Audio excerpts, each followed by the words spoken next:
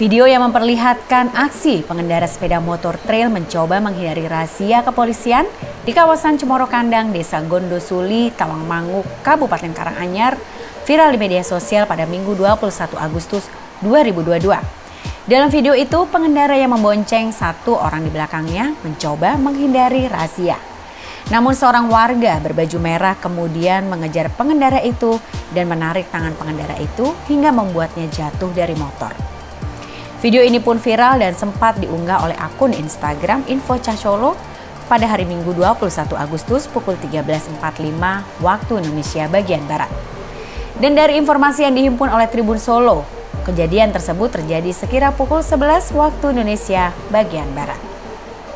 Kapolsek Tawangmangu, AKP Sutarno menjelaskan peristiwa itu terjadi saat Satlantas Polres Karanganyar sedang melakukan rahasia kenal pot brong di wilayah hukum Tawangmangu. Sutarno juga mengatakan pria berbaju merah tersebut bukan dari anggota kepolisian, melainkan seorang wisatawan asal Jawa Timur yang hendak berwisata di Tawangmangu. Wisatawan tersebut berlari mengejar pengendara itu karena tidak terima karena spion mobilnya kena serempet. Dia kemudian berhasil meraih tangan pengendara tersebut hingga membuatnya jatuh dari sepeda motor.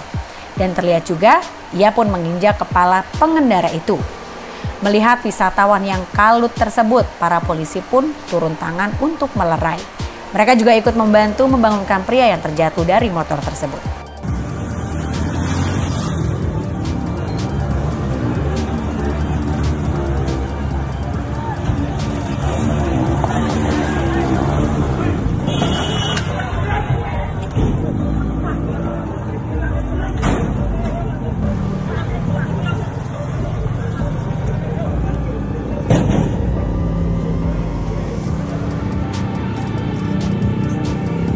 Saya atas nama Neki dari Jawa Timur Angkut Pasir, mohon maaf.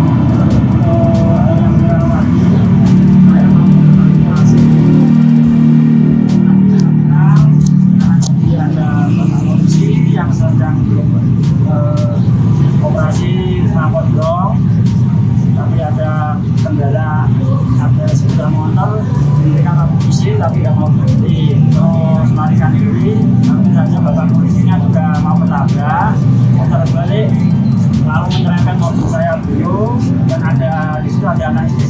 juga mau keserempet jadi saya refleks saya mengejar anak yang tadi lari terus kena saya refleks nah, anu, nampar helmnya nah helmnya terus saya juga bukan warga Timur Kandang saya meminta maaf untuk warga Timur Kandang Kandang karena saya telah membuat relasi di Timur Kandang jadi tidak kondusif saya sudah mengenakan doa saya bercetak yang sedang